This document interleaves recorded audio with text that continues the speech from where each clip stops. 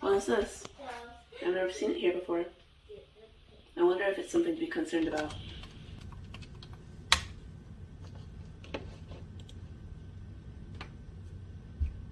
That's strange. Why is there no images set on darker skin? Maybe it isn't possible for me to develop skin cancer.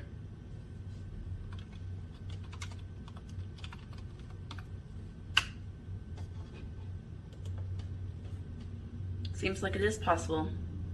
I didn't, I didn't know that. I thought because we couldn't burn, then we couldn't develop skin cancer. Let me search more about it. Oh, here are all the images for me. These images look very different from my first from my first search. It's strange that these images weren't included in my previous search.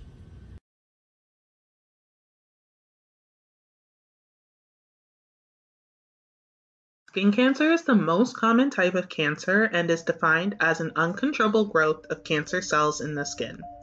A common misconception is a thought that people of color, specifically black people, can't burn in the sun or develop skin cancer, but that simply is not the case.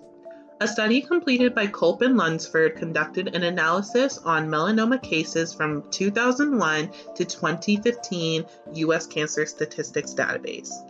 Melanoma is the most severe form of skin cancer and it occurs when cancer affects the melanocytes in the skin, which are the cells that produce melanin. In their study, they found that melanoma occurred in 28 out of 100,000 non Hispanic white people, compared to an occurrence rate of 1 per 100,000 in non Hispanic black people. But here's the shocking part of these cases analyzed, non Hispanic white people were diagnosed in the first stage of development 78% of the time, compared to black people being diagnosed in this stage only 55% of the time. Conversely, when you look at the latest stage of diagnosis, only 5% of white people are diagnosed in this stage compared to 16% of black people. You think that's shocking? The same study concluded with five year survival rates, and the differences are bleak. The survival rates for non Hispanic white people versus non Hispanic black people were 90.1% and 66.2%, respectively. Survival rates indicate the prognosis of a particular disease, normally calculated from the point of diagnosis. Typically, melanomas have high survival rates, which can be seen with the non Hispanic white statistic. But if you're black, this cuts your chances of survival by almost 25%. So, if there's a huge difference in incidence rates, why are we seeing more black people dying of this disease? Simply put, there are systemic factors that allow the perpetuation of racism to excel in medicine. Of high concern is the educational system aspiring physicians go through. Physicians learn how to diagnose skin lesions from dermatology textbooks and continue to refer to them even after training to aid in diagnosis. However, when you look at the textbooks dermatologists use, you'll find there is poor representation of skin diversity. Conducted by Adelekun, Onyekaba, and Lipoff, and another study by Lewis and Wilkes showed that on average 11.5% of images shown in dermatology textbooks and only 4.5% of images shown in other medical teaching textbooks were representative of black skin. This is a huge problem because skin diseases, in addition to other conditions that present symptoms through the skin, can look very different between lighter and darker skin types. For example, one can clearly see here how different squamous cell carcinomas look.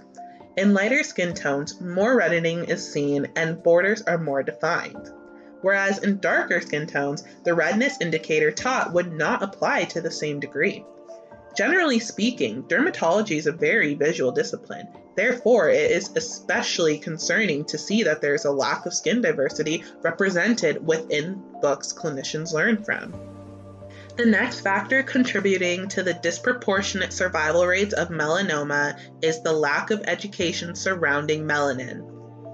Many people know that melanin is responsible for pigmentation and provides sun protection, but maybe this narrative has been carried away. Melanin is a natural pigment found in human skin that is produced by melanocytes. The main function of melanin is to protect against damage caused by UV ray lights. However, It has also been shown to regulate epidermal homeostasis and influence melanoma. Researchers Sarna et al. showed the presence of melanin can affect melanocyte transmigration in vitro. They proposed that melanin can attenuate the movement of malignant melanocytes and decrease metastasis in vivo. In a sense, melanin is like a double edged sword. It protects healthy melanocytes as discussed, but it also protects malignant melanocytes from therapies such as chemotherapy, which makes melanoma more difficult to treat in Black, Indigenous people of color. Grave concern for BIPOC people when it comes to melanoma and other skin cancers is the difference in diagnosis stages. As mentioned, non Hispanic white people are diagnosed at the localized stage 78% of the time compared to only 55% of the time for non Hispanic black folk. This is in addition to the higher metastatic rates black people were diagnosed with as well. But why is this? One of the most practiced ways of evaluating skin lesions is the use of ABCD method. This method does not require any special high-tech equipment. It only requires the naked eye or an optional device called a dermatoscope. The ABCDE method is an acronym. A stands for asymmetry. The dermatologist looks at the lesion and bisects it into two perpendicular lines as shown here. Each section is then observed for any areas of asymmetry between the sections, and if there is, a point is recorded for each area of asymmetry. B stands for borders. The lesion is visually sliced into eight axes. Each axis is then observed for any abrupt border, such as shown here. Each abrupt border observed is a point added for this category. C stands for color. The dermatologist looks for different melanin and vessel concentrations that produce different colors within the lesion. These colors include white, brown, dark brown, black, blue, and red. For every additional color a lesion presents, a dermatologist adds a point for that. D stands for dermatoscopic structures. A dermatologist observes the lesions for structures such as dots, blobs, pigmented networks, and non structured areas, for each of these present, a point is added. And finally, E stands for evolution. This step takes more time to assess as the dermatologist needs to observe the lesion over time to observe any changes in size, shape, or color. Any changes found are noted. The ABCD method is used to determine the S value or the total dermatoscopic score. If the score is less than 4.75, the dermatologist concludes that the lesion is benign. If the TDS is between 4.75 and 5.45, then suspicion arises and the area is monitored. If the value is greater than 5.45, then the lesion is considered malignant. The issue with this method is that it is very visual based, making it very prone to biases and misobservations. Many people's skin types 4 through 6 can have malignant lesions being misdiagnosed as benign due to human error. And since medical textbooks do not reflect different skin types in their images, there is no reliable backup for clinicians to reference either. It is clear throughout this video that there are huge areas of concern when it comes to medical racism. These images comparing other skin disorders on different skin types just confirms the narrative being written. There is clearly a lack of representation of black skin in medical textbooks, and this can lead to misdiagnosis and poor health outcomes for people of color.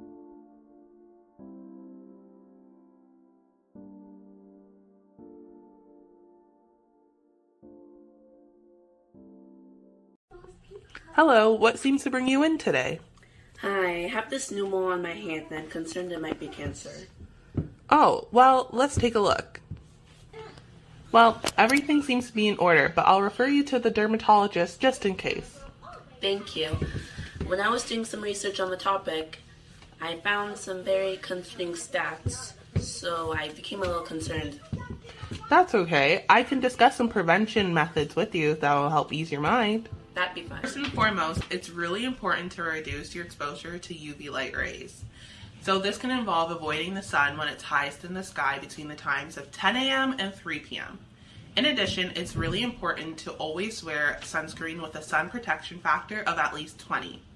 This way, your skin is protected against the UV light rays even if the sun is not out. Se- secondly, it's important to reduce photocarcinogenesis interactions within the body. So, photocarcinogenesis is just how light interacts with our bodies and causes mutations on a cellular level.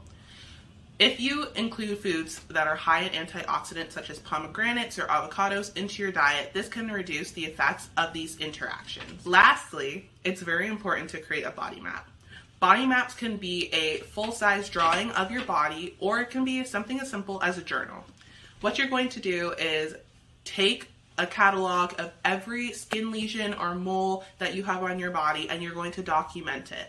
This way, you have solid proof and evidence to provide to your physician about your skin lesions and any growths that may be new or growing. My final piece of advice is to be unapologetic in your demands for care. You are the only person in your body, so you're the only person who knows when something's wrong. So make sure to bring it to your physician. Be specific in your needs and make sure to let them know when you want a referral. This way, if any physician in the future denies your request, you can ask them to document this in your file. If this ever happens, say something like this Hi, I realize that you don't want to provide me with this referral, but could you please document why you're refusing this and please indicate it in my file? And I'd also like a copy of my file before I leave today. Thank you. This way, the physician can think and ask themselves if they are denying your request for a referral based on their own biases or miseducation, or if it's a legitimate denial request. In addition, even if you feel like it is an, a wrong um, decision, you can bring this to another physician and have them give you a second referral because it is your right to request referrals when needed. Thank you so much for sharing all those prevention strategies. I'm going to tweet and share the message of all your strategies. It's important for my community to receive and digest this information because this disease is killing us all prematurely.